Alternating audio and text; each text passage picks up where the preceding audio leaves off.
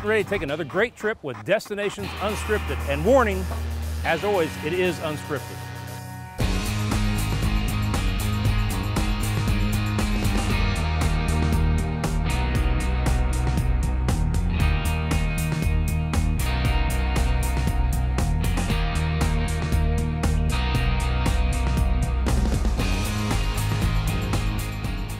Decided to stay here at the La Jolla Inn, which is really conveniently located to everything. It's right here, right across from Scripps Park. Uh, I will tell you if you're going to come here and uh, get a room, do not get one of the bottom floors, get one with the balconies. Uh, the difference is, is night and day. Uh, first we were checked into the bottom one, the air conditioning wasn't working, so we moved up. And I'm, I'm telling you, it's just much better experience. Nice breeze came through the room, nice balcony. This is a very nice place to stay because you're centrally located. You can walk to a lot of different locations here. And La Jolla parking is an issue.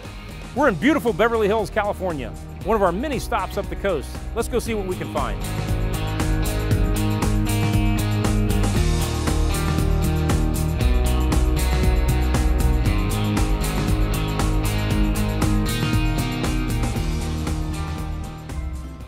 We're in beautiful Beverly Hills, California, on a wonderful June day.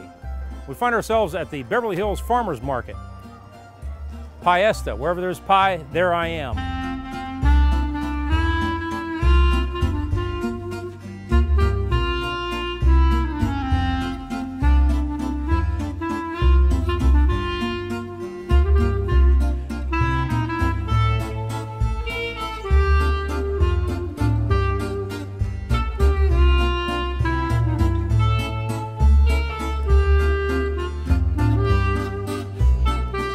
With Cece Bradley, 21 year veteran. Yes, sir. Of the Beverly Hills Farmers Market. And these are one of those hidden gems that you find when you're out looking for things to do because, well, this is the real culture here, isn't it? Yes, sir. It Fresh is. food, great food, friendly people. Yes. And tell me a little bit more about the farmers market. This farmers market was born out of the community. The community wanted something to happen here for them good fruits and vegetables, culture coming into this neighborhood. So they lobbied the city hall to have this farmers market and voila, Beverly Hills Farmers Market was born 21 years ago.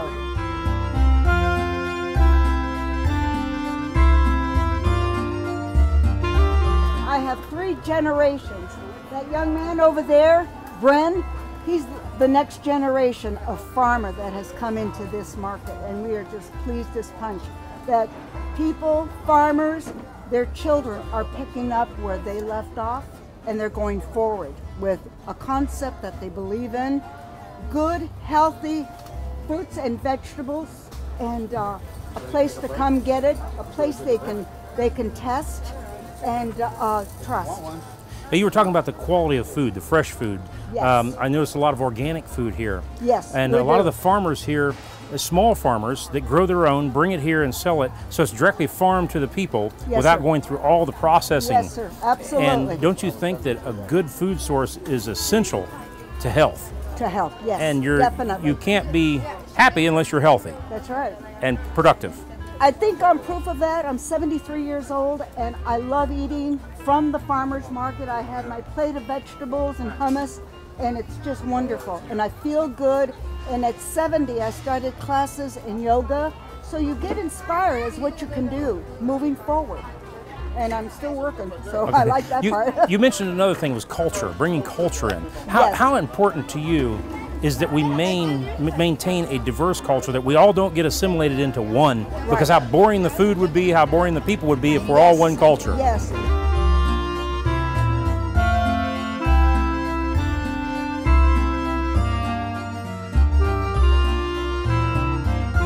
Well, we're at the other end of the Beverly Hills Farmers Market with one of the original farmers at the farmers market, Harry. Harry, how old are you? I'm 90, 92 years old. And you still farm and you still drive your truck here? Yes, sir. And you make these beautiful hats? yeah. Harry was telling me he was in World War II on a PT boat over in the Pacific Theater. Pacific, yes. Got any good stories? What's that? Any good stories about that? Oh, yeah, a lot of good stories about it. You said your boat got shot up. We got shot up and we shot down one of the airplanes. and he went back to his base, and there was some Japanese gunboats up there. They came, and they came back, and they uh, they shot up one more plane and sunk one more, sunk a, a PT boat. Yes. War, wars are, I guess, in the in the in the words of some of the wise, wars are hell, aren't they? All right. Yeah. Right. Very destructive. Yeah. So, it. Um, you want to tell me a little bit about where you're from? I'm from uh, Orange Cove, California. That's in Fresno County, and I've been farming there all my life. And uh, I enjoy doing it. And I've been coming to the market about 30 years now, and farmers market. How many acres do you have? I have 50 acres left. 50. I had 100. I sold some. Now, do you mainly just do fruits, or do you do other No, just fruit. just fruits? And what is uh, what's your what's your prized fruit that you farm? What is what's your favorite? Gra- grapes. Grapes. Yes. Now, do you produce table grapes or grapes for wine? No, no table grapes. Table, and what kind of uh, what brand or breed? Well, there's a Tomcord. That's a cross between a Thompson and a Concord grape. They call it Tomcord. I don't think I've ever tasted those. Oh, Yeah, that's a good grape. Yeah, Yeah, because I Uh, like both of them. I'll have that in about three weeks. Okay. All right. And then I have uh, Reveres and Muscat and Autumn Royal, Rubies. That's about it. Well, see, Harry's one of the. I got kiwis also. Oh, you'd grow kiwi. Yes, Okay, those are good for you. yeah, good. Yeah, Everything's good for you in this line, isn't it? yeah. Yes. One of the interesting people you will meet here when you come to the Beverly Hills Farmers Market. I can't say enough about what a great experience this is to come here. It's off the beaten path, and you're going to get to taste wonderful fruit because, to me, I'm going to get in trouble here. The best fruits, for the most part, I'm not going to lump everything in there, but the best fruits come from the West, which is the northern regions or the central regions to the northern regions of California and some of Oregon too. Uh, and I, I, you, maybe you can help me with this. Um, I've always thought that it's drier here than it is in the east, humidity-wise, so that the fruits absorb the moisture through the vines more than through the air. Yeah, Is there any legitimacy in what I'm saying? yeah.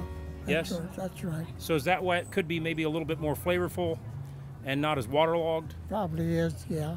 Okay. Uh-huh. Well, he's proven one of my theories, and I only had to pay him five bucks to do that. So, Harry, thank you very much. Okay. And you keep farming. We'll see you here in 10 more years. Okay. All righty.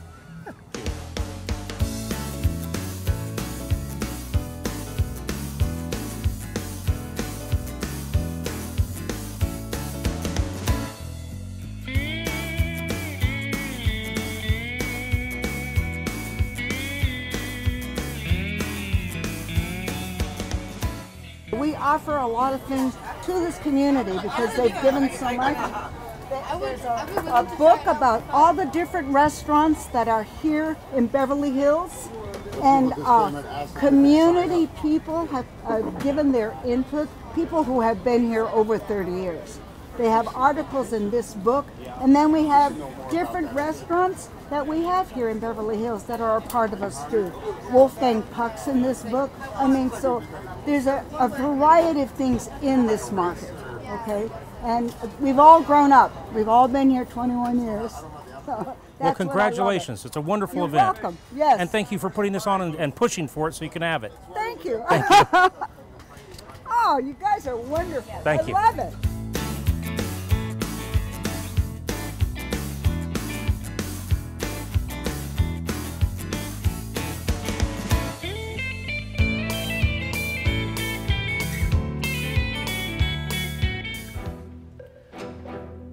Spider Man. Death Becomes Her. National Treasure. Star Trek, the movie. You probably recognize these beautiful stairs because they were the, the episodes and the part of the film was filmed right here in the Greystone Mansion, up on a hill in Beverly Hills, California. The city of Beverly Hills has been very gracious to open this up to us for filming so that we can show you so when you're coming through Beverly Hills, or if you live here and you haven't heard of this, that you can come and tour the grounds for free during the day. They also rent this out for weddings and special events. We're going to take a tour of this beautiful mansion, and it truly is a mansion. And this mansion was built by the Doheny's. Uh, Mr. Doheny was an oil tycoon, and he gifted this to his son as a wedding gift. But there's a little bit more behind that story. We'll find out about that.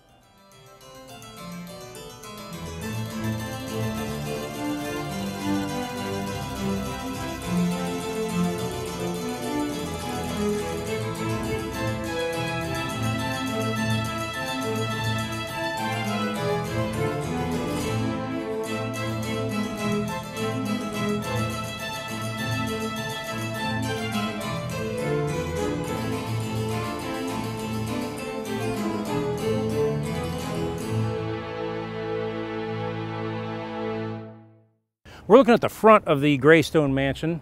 Uh, and to put this into perspective, this house is about 46,000 square foot. Now, uh, a large house that everyone's familiar with, which is the Hearst Castle, which sits up in San Simeon on the Big Sur area, that's 90,000. So if you're gonna say it's half the size of Hearst Castle, yes, but it's half the size of Hearst Castle. This is a mammoth house. And think of 46,000 square foot, that's bigger than most grocery stores. Now you've seen the staircase, but I don't know if you recognize the railing system here and the craftsmanship, the workmanship that's in this. This was carved in place, and that's very rare for this type of work. Usually it's carved inside of a shop and brought on set. They'll make a template and then they'll go back and carve it and then bring it on onto the place where it's going to be permanently placed. And all of this, oh, another neat thing, back for its time, 1927, hidden ventilation system. Keeps the house nice and and cool throughout or warm in the uh, winter, but you know, Los Angeles usually has pretty perfect weather. They painted this all white in the 1960s for the movie Disorderly Orderly with Jerry Lewis because it was supposed to be a, like a hospital type setting. And it almost destroyed the, the workmanship and they had to take sandblasters. Of course, in the 1960s, it was a, probably a lead-based paint, which really adhered. And they had to take sandblasters in here very carefully to get it off and bring it back to its natural beauty walking through the east and west wing hallway here into the card room. This, this mansion was built in 1927 and 28 prior to the Depression. And it was the most expensive home up until its time ever built in California and thereafter for a while. The cost of this was $3 million. And these are not vinyl floors, that's real marble. And uh, the craftsmanship and workmanship of the, the, the, the craftsman here in California that, that did this is phenomenal. As I look across the floor, there's not one hump raised lower, nothing. It's all flat. And it remains that way today, even almost 90 years after it was built. This thing was built right. Now, this was the card room, so can you imagine the wagers that were made here with the oil tycoon overlooking the vista out these beautiful old doors overlooking Los Angeles. We're in the famous murder room, and this is where Ned Doheny, the son of the man who built this that was gifted to, was murdered. And up until just a few years ago, when they refinished these floors, the masking tape that the police used to outline his body was still on the floor. And that was right here where I stand. And there's a lot of different stories that may or may not happened with uh, surrounding this murder. And the funny thing was, it was never investigated that deeply. Uh, there's, there's been rumors that the wife shot both of them. There's been rumors that Ned shot Mr. Plunkett. There's been rumors that Mr. Plunkett shot Ned, then a murder suicide type thing. But they say, if you're in here at the right time, you can still hear the, and feel the spirits of Ned and Mr. Plunkett.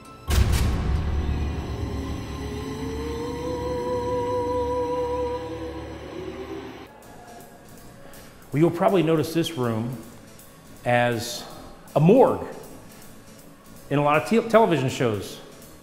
Of course, a dated morgue. Oh, look at what we got here. John Doe. Anyway, this was originally used as probably the garde-manger or the place where you would garnish the food after it left the main central kitchen. Let's take a look in here. Now, there's several unique things about this kitchen. One is it's large, of course it would have to be to service the amount of people that would come through here in parties. But this was one of the first refrigeration units in California. Not an ice box, but actual refrigeration. These are original. They have been refinished, so it looks brand new, but they're actually from the 1920s. Well, this is something you didn't see then and you still don't see now. 24 feet solid stainless steel. There are no seams in here. It hasn't been welded. It hasn't been put together. One solid piece. Well, you know, if you've seen me cook, I can cook great food, but I make one heck of a mess. I would love this in my house. I could mess up the whole counter. You're looking at one of only two bowling alleys in the world that is like this. And it is a manual reset bowling lane. All wood, wood pins, really beautiful. It was falling into a state of disrepair when the movie There Will Be Blood with Daniel Day Lewis in 2007 was filmed here. The movie production company refurbished it, brought it back to its original glory, and it's one heck of a scene if you've seen the end of the film. We're in the billiard room right off of the bowling alley. This is an original pool table. Now, step back in time, it's prohibition. You have a big party, you want to throw some extra favors. It's prohibition. What are you going to do, especially if the cops show up?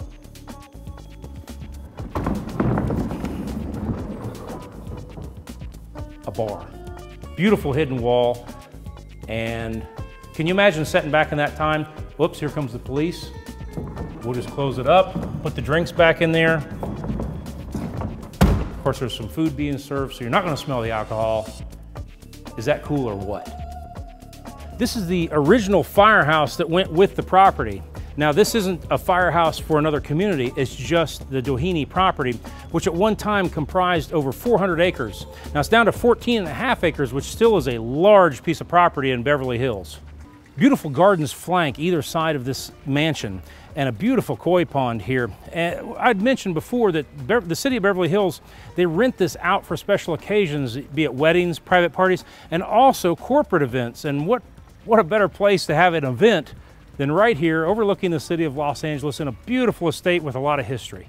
There are many different ways to enjoy the LA Basin and surrounding areas. We're going to choose two of those options on this trip. One is to stay in the excitement in the hub, which Loews Hotel, which is downtown Hollywood.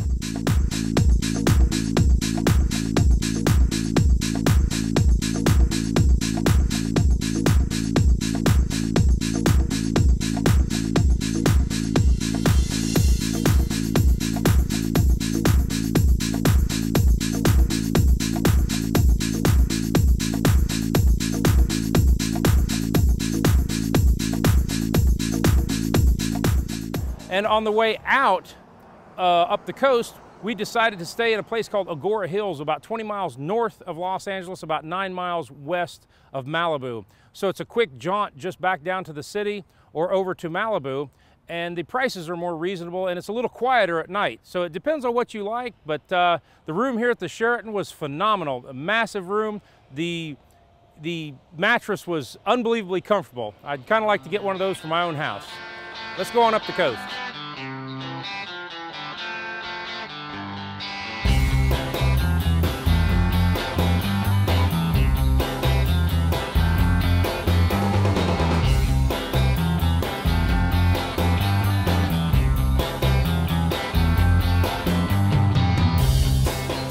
We're in another world famous location, and that's Malibu, California, right up the coast from Santa Monica, about 10, 12 miles. And it's a, it really, if you're, if you're looking for something full of a lot of excitement and a lot of energy, all that, this is not the place, although you've seen it on TV and in movies portrayed that way. This is a very laid back, relaxed atmosphere and a beautiful beach line, uh, views from up in the hills, a lot of restaurants over the water, quaint little inns, shops, it's a great little place to stay if you're looking for a little bit of relaxation.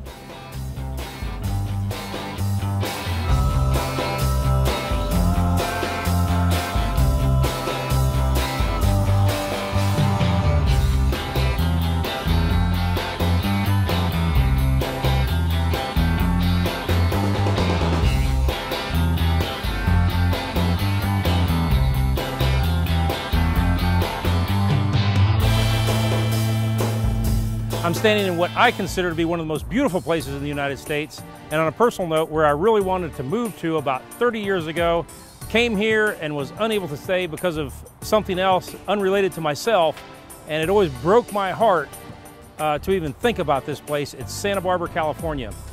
It's beautiful. They call it the, the French Riviera of the United States, and for good reason, too.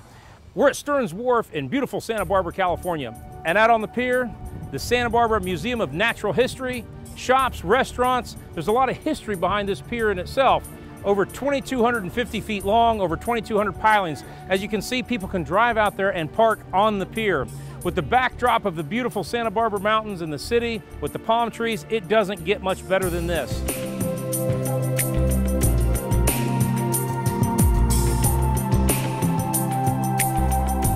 It's a mecca for sailboats, fishermen, kayaking, fishing, sunbathing. And this pier, the Stearns Pier here, is 2,250 feet long. So you're almost, you're past a third of a mile out into the water. Deep water here. Uh, the Pacific drops off very rapidly, unlike most of the Atlantic, which has a large shelf. They have shops out here, restaurants. You can actually bring your automobile out here and park almost right to the end of the uh, pier. So it's a massive pier. There's over 2,000 pilings. This was constructed in the 1880s. They've had a fire here at a restaurant, which was rebuilt. So a lot of history right here on this pier. A lot of people have enjoyed this pier, and I think it's something that you should also enjoy. Uh, we took the opportunity to take our bicycles from the hotel that they offer and ride out here.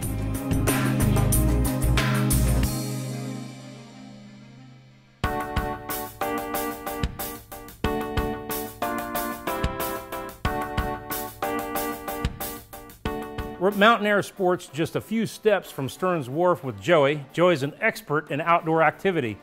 Joey, I noticed a lot of kayaks out there. What, what do people see out there?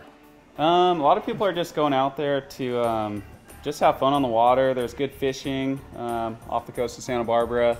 Um, a lot of people cruise around in the harbor. It's right across the street from us, which is nice. Um, a lot of uh, a lot of dolphins, Right. seals. Um, certain times of year, you can actually see whales right off the beach here, which is cool.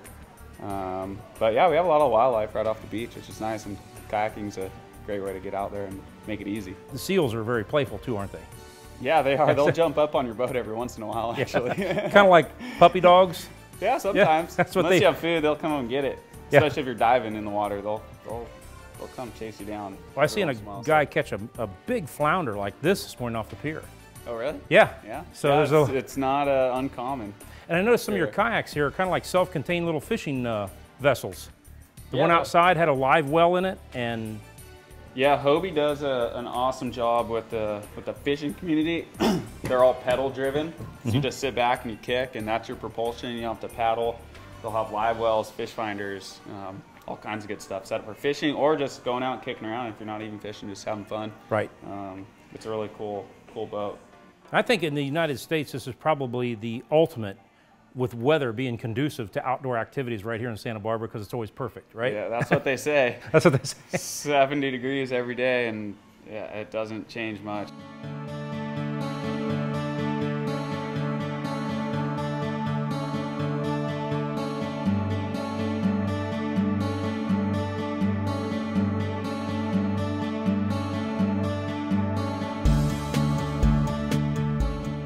Well, if you need some outdoor ac- activity uh, advice or equipment, come see Joey at Mountain Air Sports, Santa Barbara.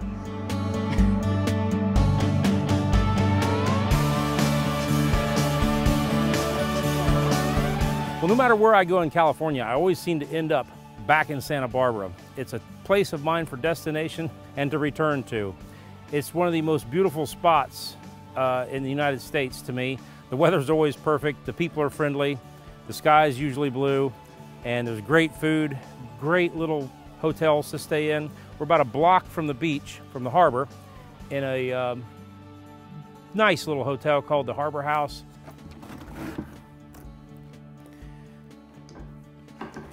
This room is just gorgeous. It's um, it's Santa Barbara. It's Southern California, and the decor is nice. It's clean. It's fresh, but yet has a lot of character. And since I came back and we're staying two nights, the hotel offers a gift basket, and it's complimentary for a two-night stay or beyond. They make their own banana bread, and you know how much of a foodie I am, especially with pastries and bakery items. They make their own banana bread that's special. And orange juice, some cranberry juice, V8, apples, water, bananas, fruit bars, and um, some biscotti. Just a really nice gift that makes you feel very welcome. They usually don't show bathrooms, but this one, uh, it's got that old California flair. Uh, the, the tile and the glass block, I love it. It's a great place. One block off the ocean, you can walk right out, look down at the harbor view. They also have bicycles that you can um, take for a stroll. They just ask that they're back by sundown, and they're free of charge if you rent the room. So it's a great little place here at the Harbor House, and I'm looking forward to staying here. I'm in the courtyard of the Santa Barbara Courthouse, and it's absolutely stunning. This is a free tour that you can come to Monday through Friday, and you can walk in and out around. You do have to be quiet because there is courts in session. The mural room is phenomenal. We're gonna head up there in just a little bit. And this is one of these places that's, you know, usually off the list of tourist things to do, but it's well worth the trip to come and see it. And like I said, it's free.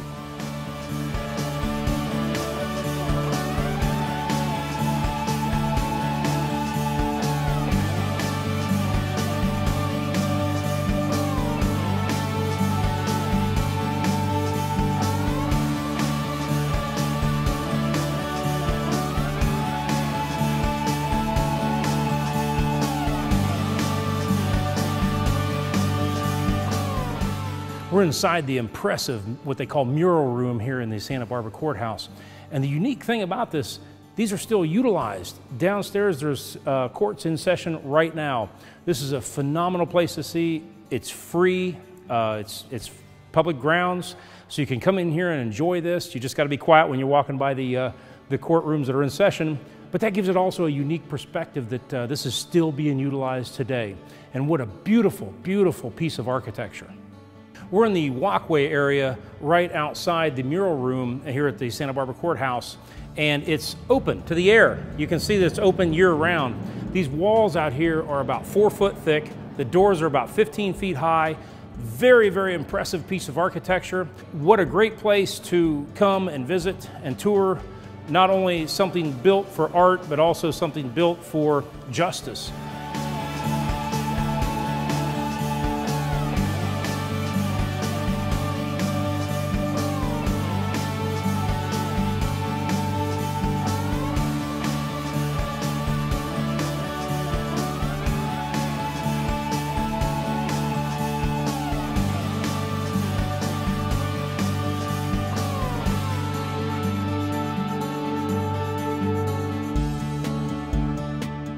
Come to Santa Barbara. You will not be disappointed.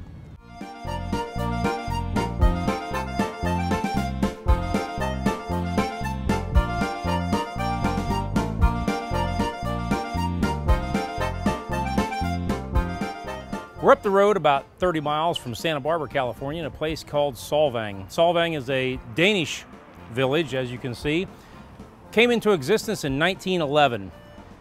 There was a Mexican land grant that was offered to people from um, Denmark that was living in the Midwest to bring them out here to, to give them this land and to create a, a Danish village culture, to bring their farming skills, to bring their engineering skills, to bring their cultural skills.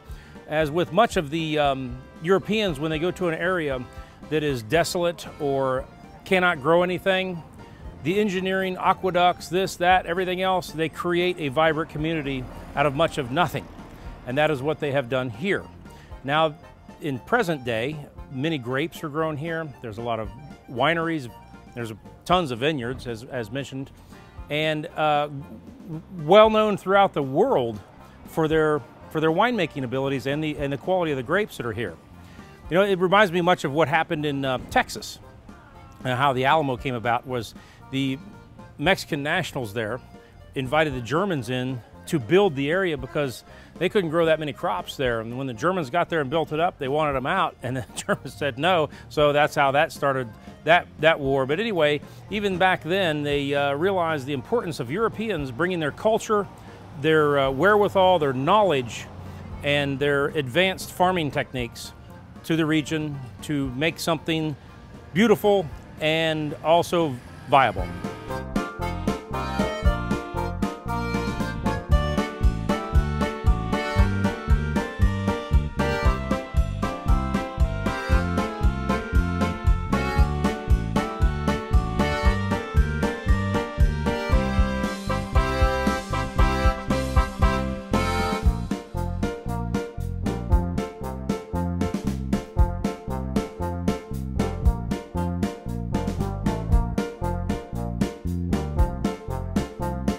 I'm here with one of my relatives, Gunnar Peterson, the milkman. He gets a little shy on camera, a little stiff and wooden-like. But anyway, he's promised that if you come to Solvang, you're gonna get great pastries, great bakery items, food, culture, and a great time in wonderful weather in beautiful Solvang, California.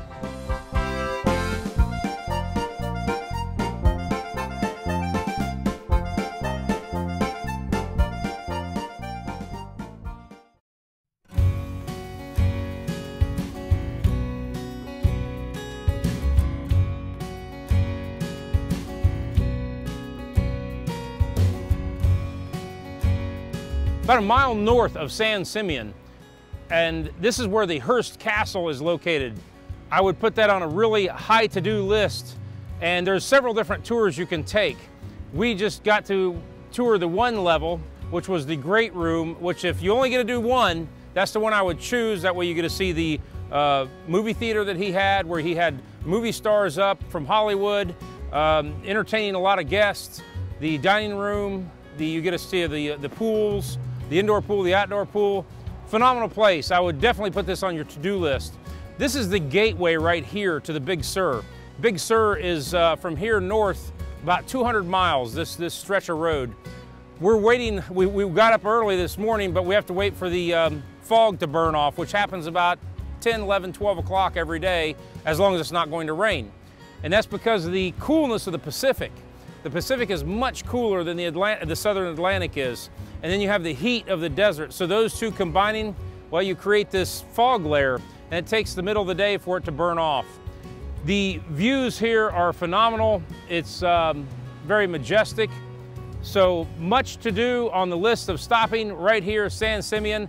I do advise if you're um, looking to come here and stay for a couple days, you might want to bring some food. There's not a whole lot of grocery stores here. There are a few restaurants. I will say that they are fairly expensive. And um, so if you're in for that, do it. If not, bring lunch meat, cheese, bread, breakfast items. You'll be good to go.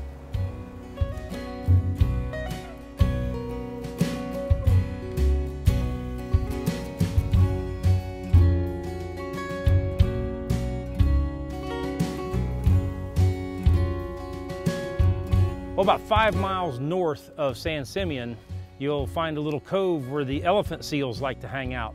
And right below me, there's a whole, I don't know what you call them, a gaggle, a, a swarm. I don't know what they are when there are a bunch of them together, but there's probably about 40 of them laying down here sunning themselves. Uh, they look uh, real cute, like you want to go down and pet them, but I would not advise that. They can be extremely violent when they want to be. They're good to view from a distance, and this is one of those things that is absolutely free to stop and take a look at. You don't, you're not in the zoo. This is in their habitat. So it's uh, nature, you're right here beside it, and you get to see it right here in Central Coast, California.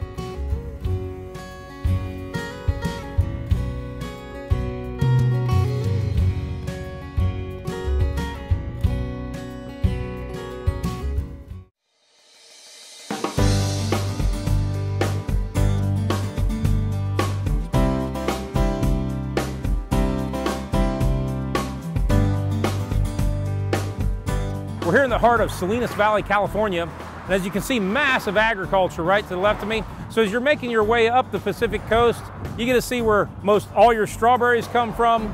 Uh, tomatoes, of course, that's over in the valley too. But a lot of your agriculture comes from right here. So as you're driving through, you get to see where it comes from to your grocery, grocery store.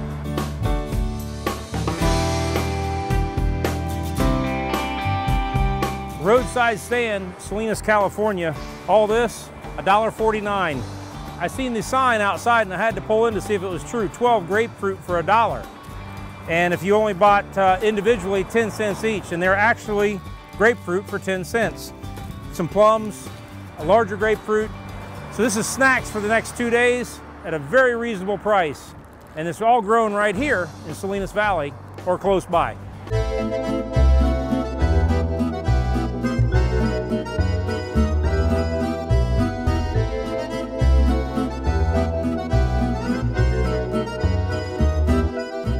As you know, we just pop into places. It's destination unscripted, as it says. And we're driving down one, Pacific Coast Highway, come through Santa Cruz, and I seen a sign. And you know, anytime I see something with pastries, bakery, or chocolatier, I've got to go in. This is one of the Donnelly brothers, and I seen a sign out front that says one of the top 10 chocolatiers by National Geographic. We appreciate you guys coming in. It's a uh, it's always nice to have people come in and do a little bit of filming. Uh, we're in Santa Cruz, California. We're about 75 miles south of San Francisco. We've been making chocolate here since 1988, and we start out with uh, a really great French chocolate, Valrhona. We melt it, we temper it, we put it into molds, we flavor it. Uh, we make a, uh, whole line of truffles. We make a line of candy bars. We make a really great ice cream bar that's popular in the summertime. It has a great vanilla ice cream with uh, our honey vanilla caramel and dark chocolate blend with a little bit of sea salt. Uh, we have a full line of candy bars, caramel bars, things like that. We ship all over the country, all over the world. Not so much around the world anymore. You know, the last recession took out a lot of the international business. The Right. cost, the cost went up. Um, but people in the press say really nice things about us. And we, What- we always appreciate National Geographic.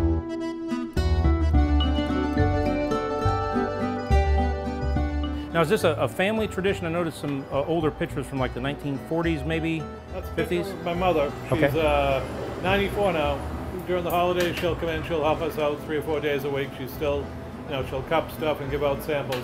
Uh, she was a real estate developer and a uh, stock investor, and my dad was an attorney and a politician. Okay, So that's quite a background. it is, it is. I, uh, to go from that into candy. Yeah, it was. you know, my brother uh, did a year in college in Washington D.C. He worked in a law firm for the summer, uh, and he decided that he didn't want to be a lawyer. So Right. he went to uh, La Varenne in Paris, went to school for six months, and then he worked at different places for about four years. And then he came to this country and pretty quickly opened up the shop. Are you, uh, I detect uh, Boston or? We grew up in uh, Scituate and Worcester, Massachusetts. Okay, close, close. Yeah, close. It's close. The Donnelly name. I go back. right? I, I, yeah, I try and go back and fish uh, for a month every year to Cape Cod. oh, that's great. So I still have a little bit of an accent.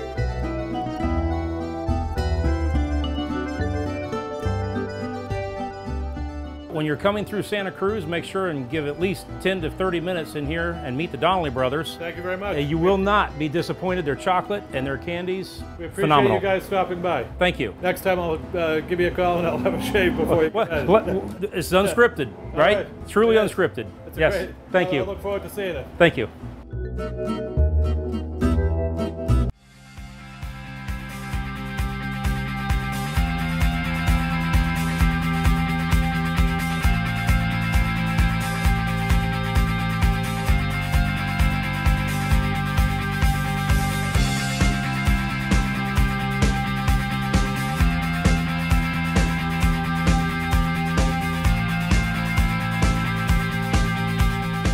We're in the heart of Sonoma County, and many people come here and just make this a one-stop destination. They'll either fly in or make it a long weekend or a week stay, of course, because of the vineyards and wineries. But there's other things to do here as well. It's a beautiful area for bicycling, hiking, and other outdoor adventures, as well as many fine restaurants. So as you can see behind me, lush vineyards, beautiful hillsides, and near perfect climate for your enjoyment and stay here in Sonoma County.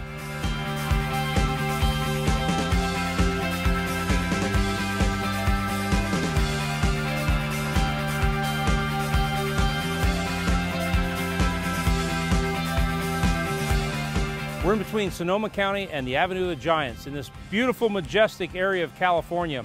And it's the gateway to the Redwoods, and it's hard to describe. I, I doubt that the camera is going to do it justice take time, grab a picnic lunch, sit out here and enjoy these beautiful vistas and views.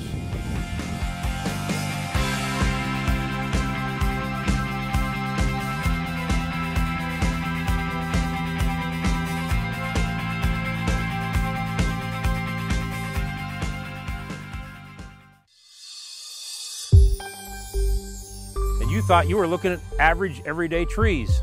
We are in the beautiful Redwood National Forest, actually the Avenue of the Giants to be exact.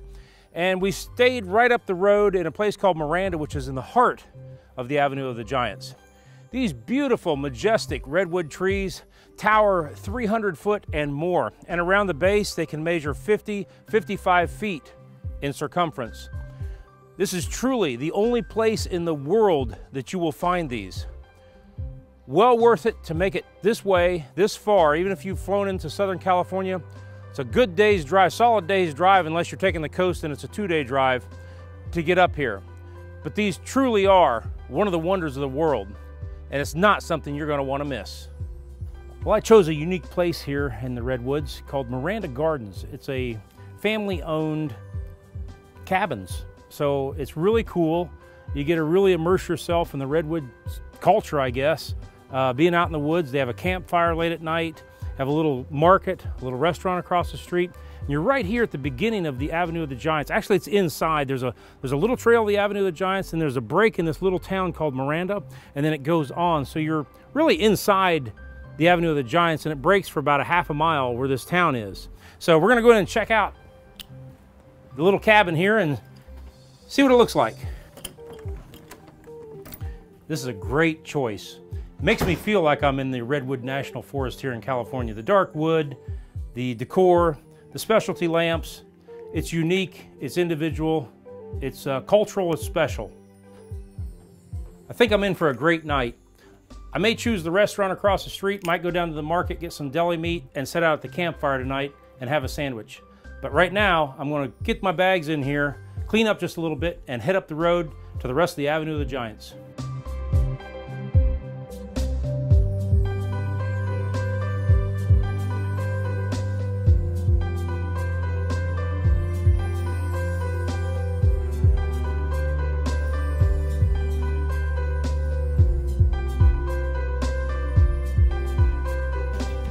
We're just south of Crescent City, California, north of the Klamath River, one of the crossings where you, you cross the Klamath River, which is well known for salmon.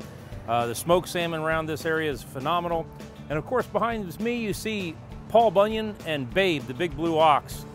And if you've had that story told to you in the past when you were a child, you remember when Babe and Paul Bunyan came up against the little guy with the chainsaw. It was automation versus brawn.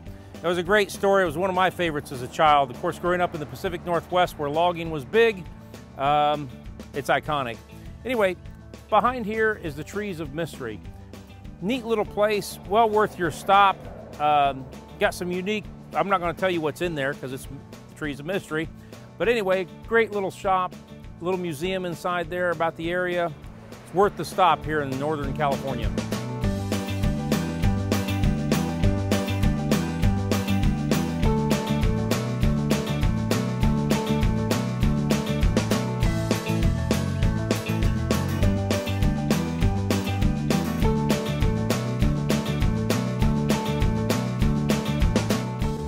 Crescent City, California, getting ready to go across the border into Oregon. We want to stop for lunch. And I'll tell you what I always look for. Uh, that is work trucks in a place that's kind of like the hole in the wall look. And I'll tell you why. Because workers in an area know where great food at a great price is.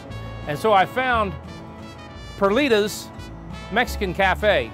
The food was phenomenal, the price is outstanding, it's one of those little places that you just want to stop, grab some lunch, grab some dinner, whatever. You don't, you're not going to spend a fortune, but you're going to have a great meal and a good experience.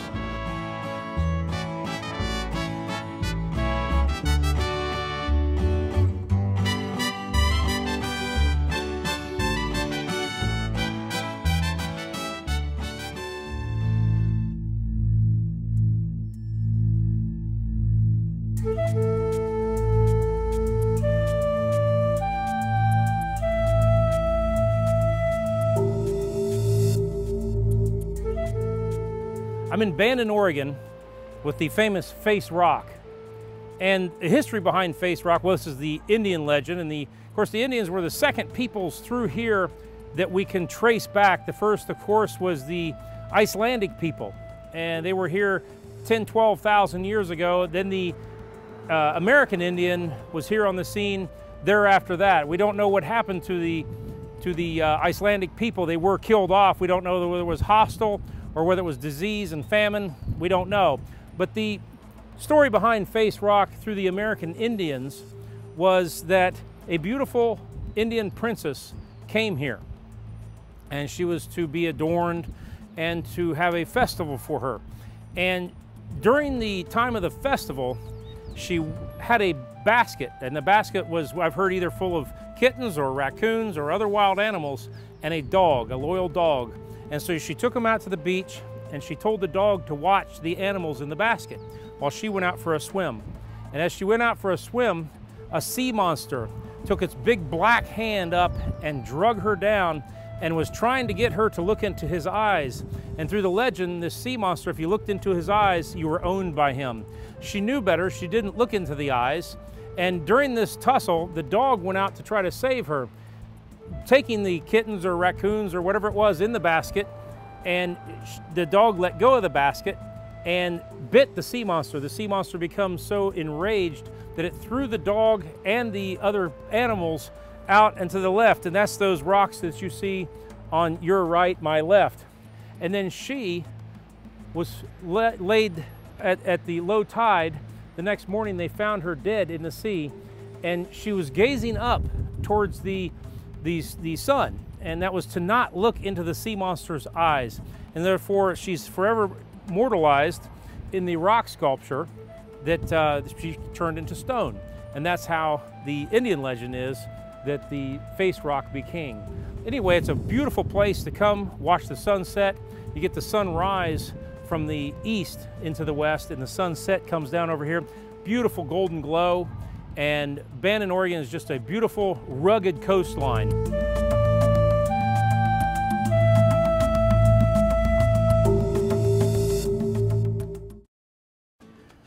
Well, I've read about it and I've heard about it, and now I'm here to try it the Bandon Fish Market, Fish and Chips and Chowder House. They say they have the best clam chowder in Oregon and some of the best halibuts that you'll taste.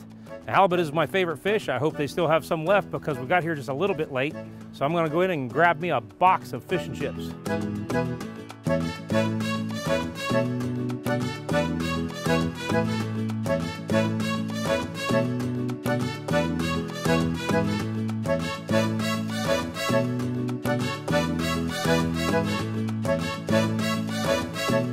It has arrived. Halibut on the Oregon coast. This is supposed to be one of the best fish and chip houses all up the Oregon coast. So I'm really looking forward to this. Halibut is my favorite of all the fish in the world. Flaky, white, clean, and this is fresh. I've seen it behind the little glass window there, ready to go.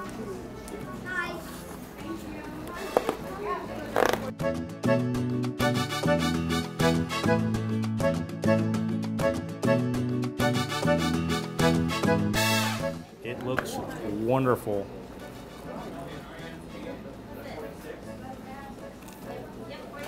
Mm. It's been a long time and a long wait. There's nothing like fresh fried halibut. The chowderer has arrived, which is, um, this is what they're really known for too, is the best chowder in Oregon, clam chowder. There's the first test.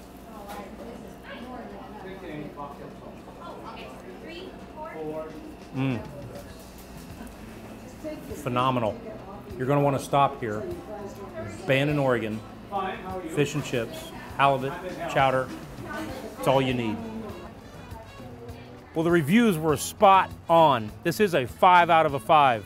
The Bandon Fish Market. Fish and chips. Great halibut, awesome chowder. I'm really bad because I got one to go for later on. So I ate one in there and I'm going to take one back to the room.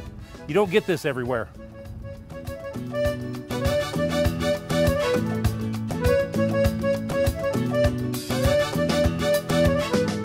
I spent the night here at the Bandon Inn in Bandon, Oregon. And the inn overlooks the little village downtown and then across the uh, bay area out into the sea. Bandon used to be a fishing village, still is, but it's also tourist related now and a few other small industries. The room was great quiet, the beds are super comfortable, nice little breakfast, and the hospitality here that was shown to us was phenomenal. Very friendly, very helpful, Bandon, Oregon is definitely one of those places you do want to stop and check out.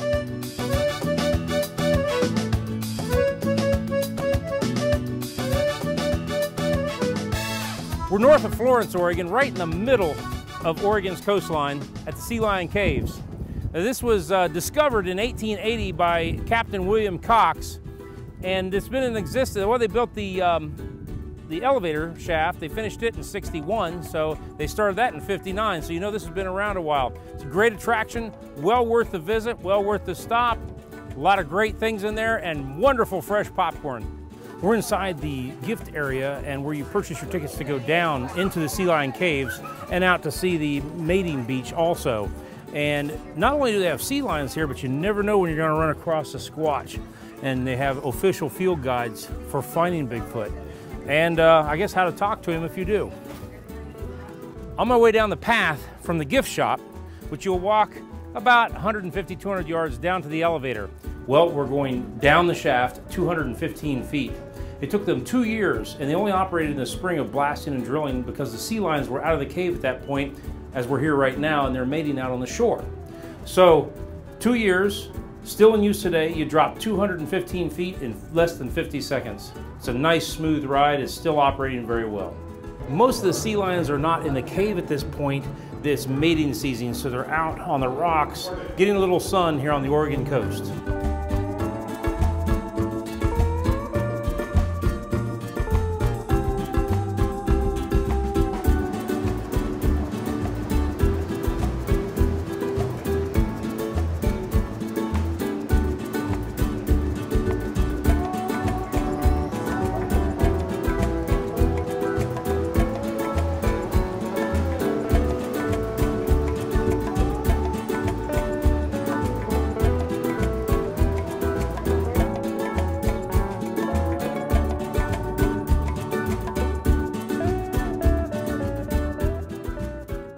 We're in Lincoln City, Oregon, and I was very happy to see that the Bijou Theater is still in business. This single screen theater started in 1937 and is still in operation today.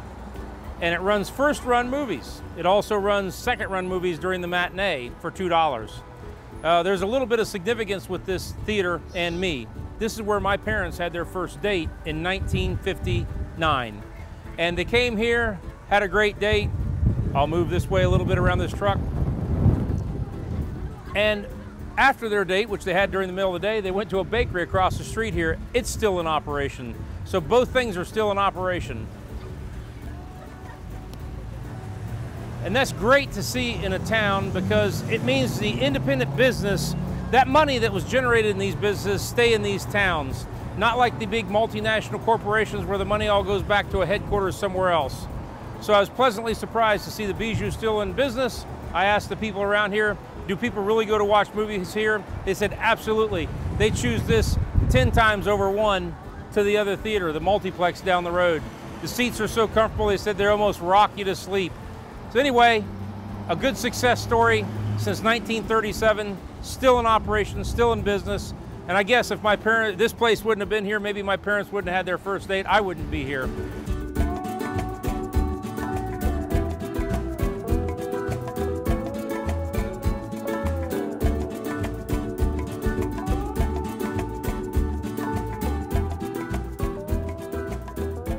In Tillamook, Oregon at the world famous Tillamook Cheese Factory.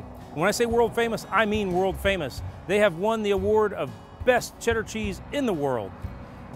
This was started in 1909, but it didn't start as a cheese factory, it started as a butter producing plant. And they would take the butter and laden it with salt because the cows here only produce milk two to three months out of the year.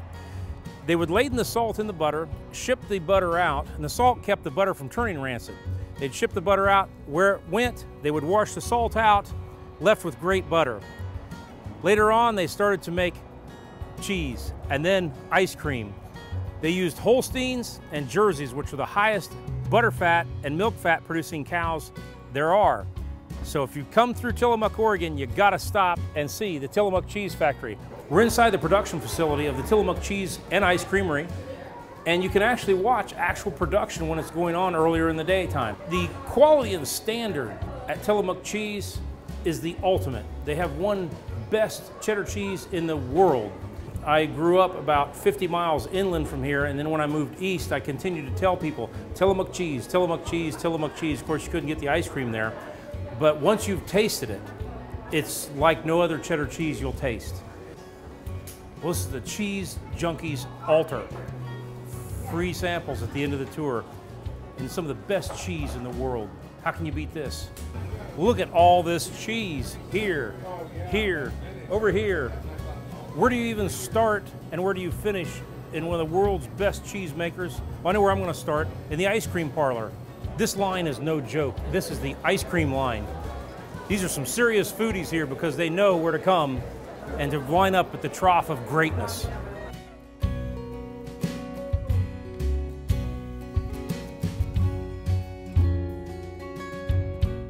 We're in a small, quaint, charming town of Wheeler, Oregon, just north of Garibaldi and south of Cannon Beach. Cannon Beach has one of the largest monoliths in the world, reaching over 235 feet. It's a photographer's favorite, and you, I'm sure you've seen the picture of the big monolith coming out of the ocean and the water behind it. Just a stunning sight. One of the cool things about the Oregon coastline here is you can take a train all the way up the coastline on the 101. And this is one of the stops here in Wheeler. Just a cool way to see the coast. You can get off in a small town, spend the night, get back on the next day and head north or go south.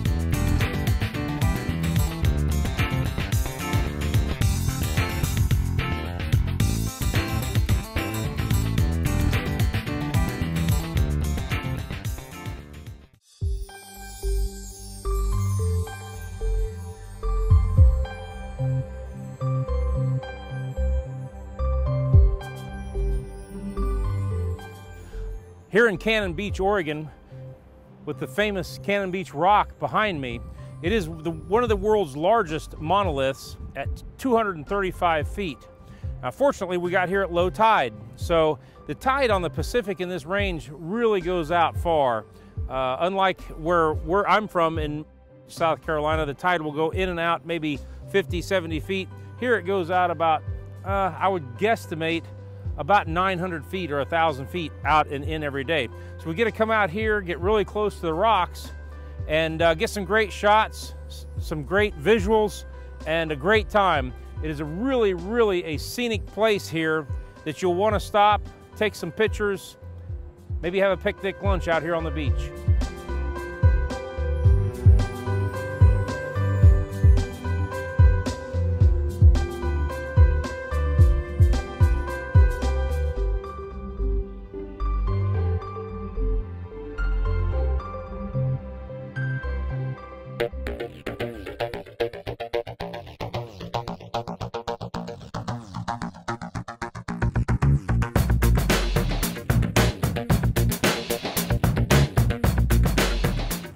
Trendy northeast quadrant of Portland, Oregon. Portland, Oregon has a wide variety of eclectic shops, restaurants, places to go, things to see, and the architecture downtown is really cool. Of course, it was started as a port city, so a lot of ships come through here. Uh, timber built this city, and also the, the trade between the Pacific Rim, the Asian Rim into Portland, brought a lot of trade into Portland. But now it's turned into a, a um, a very vibrant area where you can get just about any type of cuisine that you want and find any type of shopping you want. Portland also has a beautiful view of Mount Hood, which is where we're on our way to now. So we will see you in Mount Hood. Stop by Portland for some great eats and great shopping.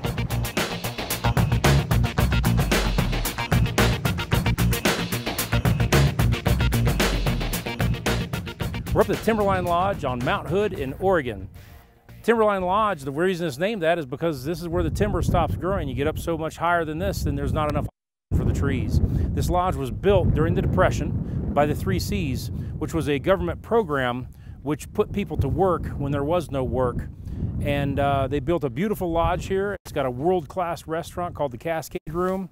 And I'm looking forward to my stay here and the beautiful vistas and views behind the camera, which I'll show you in just a second.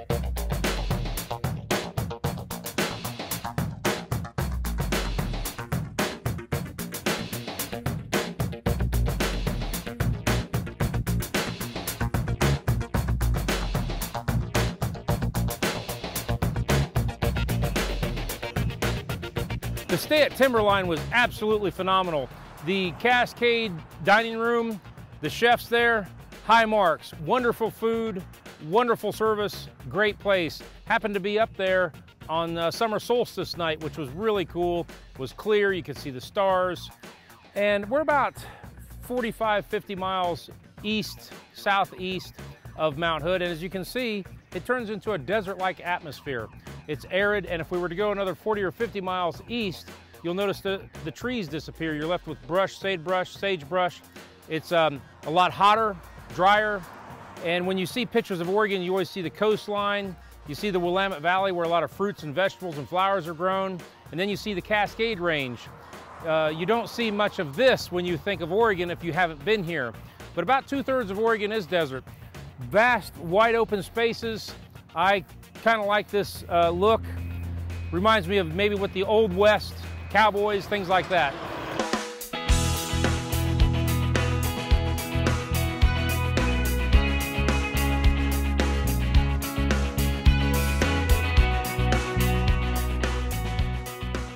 Well, we're back where we started in San Diego, California. We hope you've enjoyed this trip up the Pacific Coast Highway with the John over to Mount Hood. We look forward to seeing you on our next trip. I'm Jerry Dalton, Destinations Unscripted.